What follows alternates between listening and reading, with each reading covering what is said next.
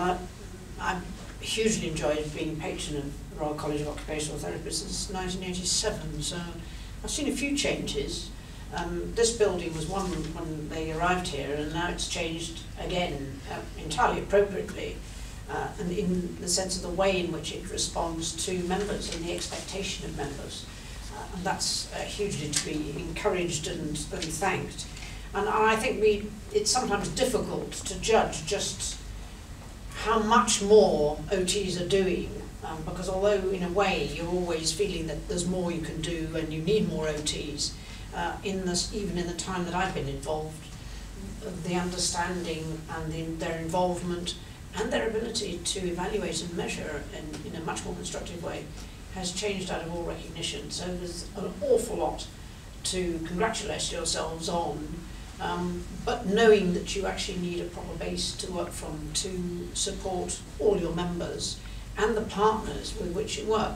Because when I first be became patron, it was very obvious that OTs were often seen as a very crucial team building members.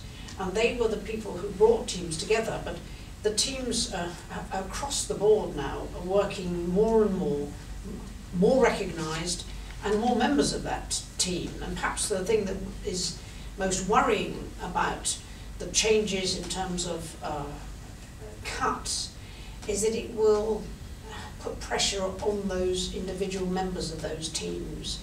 Uh, so they're a little, instead of working together more, that they're a bit more fighting their own corners. Mm. And that, I think, would be a seriously backward step because all of their specialties and their knowledges are really important.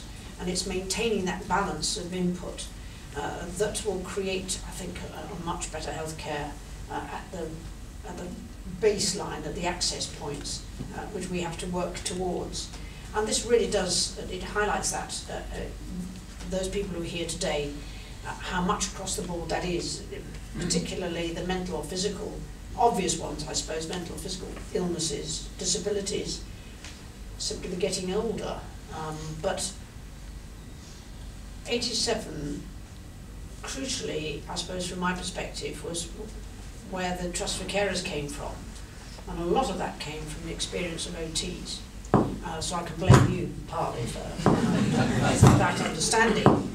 But um, hospital um, discharge papers and the concept of is that you, you, you leave anybody behind? Your roof space.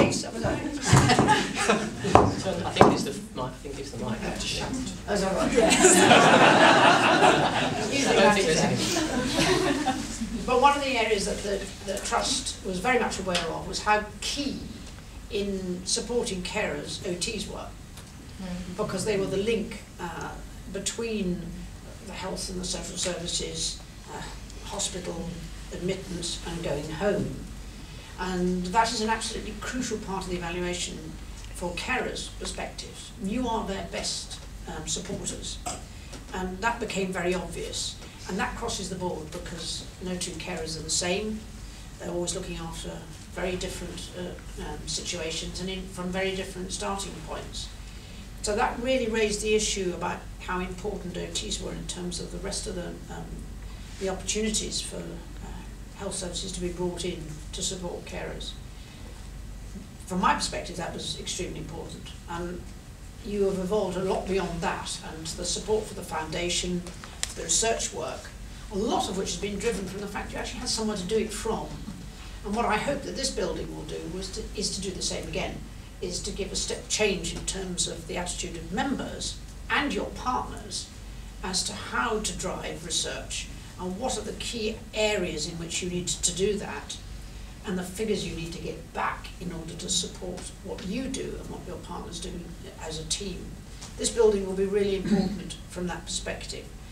Having somewhere nice to work makes makes a bit of a difference for those of you who work here and you've put up with a lot in terms of being moved and come back. But the service that you can give from here to your members and to those you work with, absolutely crucial. So it's a pleasure to see what, what has happened here, uh, what you've created from the space that you had before and to look forward to what you can do um, what you can add in terms of value than what you did before. So from the college's perspective and the association's perspective, this building is really good news and it's really nice to see so many people who come to support you on this occasion and a pleasure to officially open your um, perhaps recycled building.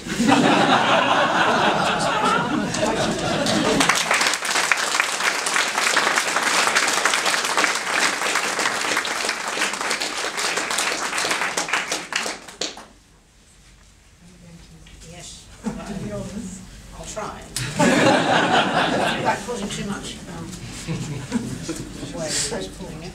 There's only choice of, you go.